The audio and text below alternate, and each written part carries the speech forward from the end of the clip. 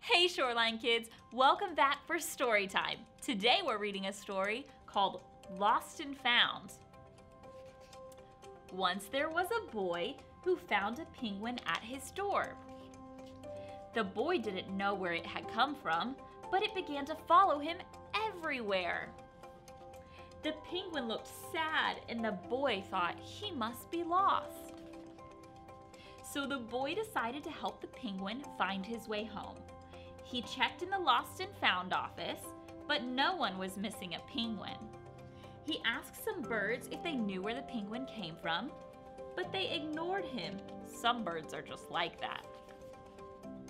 The boy asked his duck, but the duck floated away. He didn't know either. That night, the boy couldn't sleep for, for disappointment. He wanted to help the penguin, but he wasn't sure how. The next morning, he discovered that penguins come from the South Pole. But now, how could he get there? He ran down the harbor and asked a big ship to take them to the South Pole. But his voice was much too small to be heard over the ship's horn. Together, the boy decided he had the penguin, he and the penguin would row to the South Pole. The boy took his rowboat and he tested it for size and strength. He told stories to the penguin to help pass the time. Then they packed everything that they would need and pushed the rowboat out to sea. They rowed south for many days and many nights.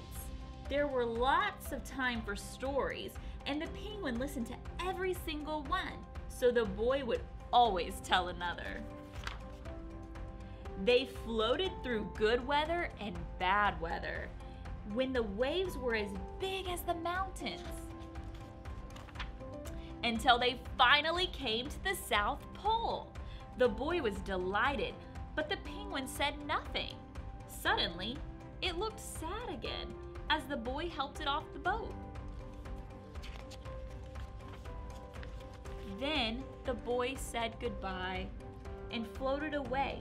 When he looked back, the penguin is still there, sadder than ever. It felt so strange for the boy to be on his own. There was no point in telling stories now because there was no one to listen except for the wind and the waves. Instead, he just thought. And the more he thought, the more he realized he had made a big mistake. The penguin hadn't been lost, it had just been lonely. Quickly, he turned the boat around and rowed back to the South Pole as fast as he could. At last, he reached the pole again, but where was the penguin? The boy searched and searched, but he was nowhere to be found.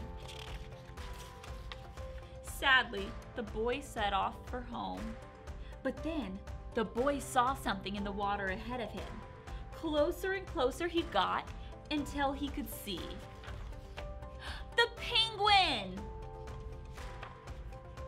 And so the boy and his friend went home together, talking of wonderful things along the way. The end. What a great story. Well, thank you for joining me, and we'll see you next time.